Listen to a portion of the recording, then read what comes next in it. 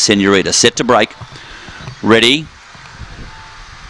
Racing El Grand Senorita out quickly, beginning well in the centre was Zalinka to match motors with it. Behind those, look away, Darcy Arara Gem. A break then to Sandy Man Ken, followed by Lindor. Well back, Diggers me name and Black Tay bonus. Or getting checked on the side was Arara Gem. Sweeping through now to the lead was El Grand Senorita on straightening. Now getting going again now was Arara Gem out wide of those. Arara Gem and El Grand Senorita toe for toe. But Arara Gem too strong in the run home has beaten El Grand Senorita. Third look away, Darcy and fourth Lindor. Behind those runners was Diggers me name, Sandy Man Ken followed by Black Tay bonus, and Zelinka's finished up as a tail ender.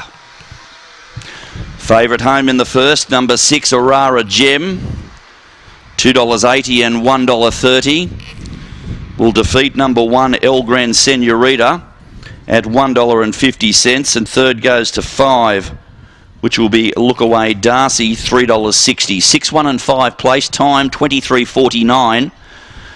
23.49 is the time. They've run home in 14.93. Now two grabs fourth. That's Lindor. 615 and 2 the numbers. 615 and 2.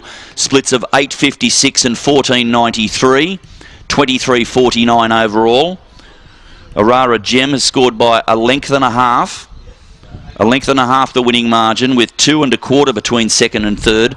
A length and a half by two and a quarter the numbers 6, 1, 5 and 2 on the first event. 6 Arara Gem is a black bitch by Premier Fantasy from Arara Flash.